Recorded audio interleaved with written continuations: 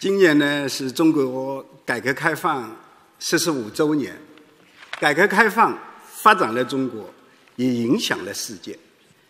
据我掌握的情况资料看啊，绝大多数外资企业仍然是看好在华的发展前景的。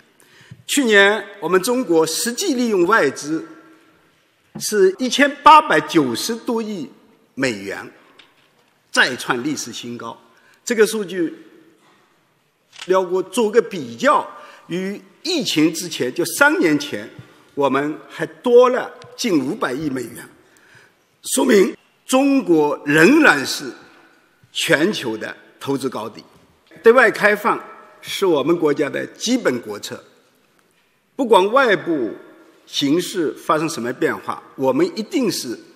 坚定不移地向前推进。这里我特别想说一说中国国际进口博览会，这是中国主动向外向世界开放市场、共享发展机遇的重大举措。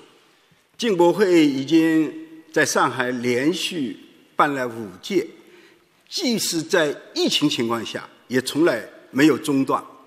我很荣幸。五届我都参加了，我如果没记错的话，去年有一百二十七个国家和地区，两千八百多家企业参展，一次性展出的面积多达三十五万平方米。进博会的举办，充分说明开放的中国大市场是世界各国企业。发展的大机遇。今年我们还会对接高标准的国际经贸规则，进一步扩大开放。中国对外开放的大门只会越开越大，环境会越来越好，服务会越来越优。开放的中国，发展的中国，欢迎大家来投资兴业。